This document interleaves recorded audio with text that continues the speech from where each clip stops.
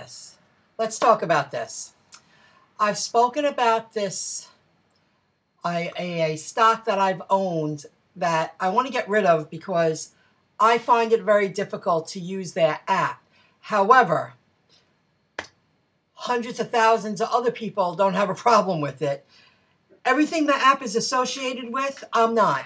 So I don't want to I don't want to hold on to the shares of the stock.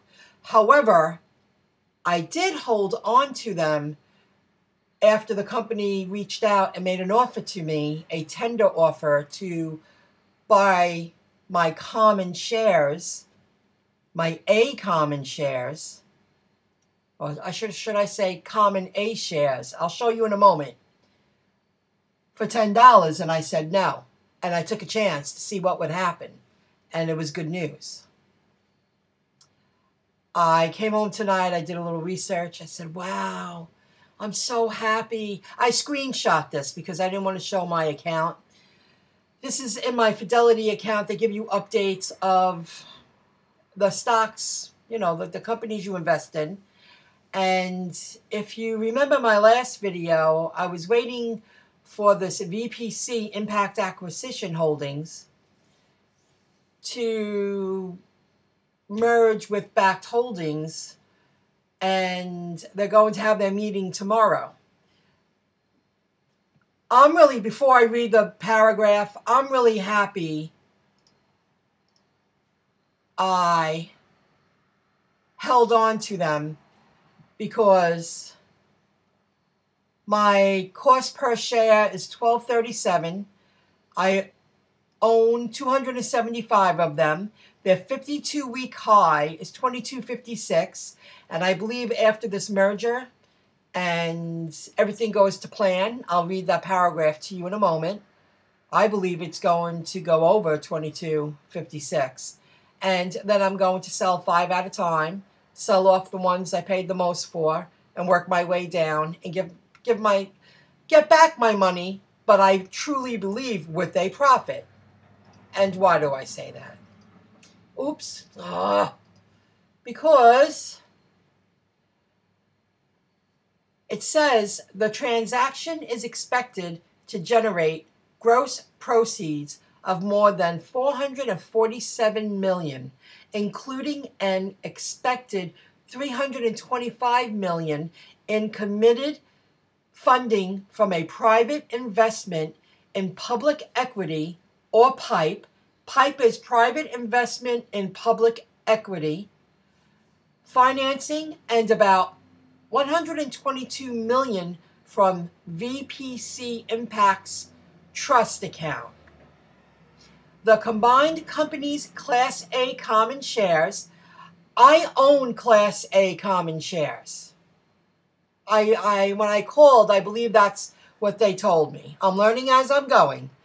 And redeemable warrants, I've had experience with warrants. You can buy shares of a stock at a lower price for a short amount of time and then that's so the company can um, attract more investors but increase their capital and then you sell them off but with with a warrant like say if you have 200 warrants those 200 warrants will be turned into a common share. I do have some experience with that. They are expected to begin trading on the New York Stock Exchange on October 18th under the symbols BKKT and BKKT, BKKTWS, respectively. VPC Impact is a special purpose acquisition company sponsored by investment firm Victor- Victory Park Capital. Victory Park Capital. Sorry, guys. Victory Park Capital. But I've been watching this and watching it. It was a learning experience. I didn't take the offer. I didn't lose my shares. And after reading this, this came out today.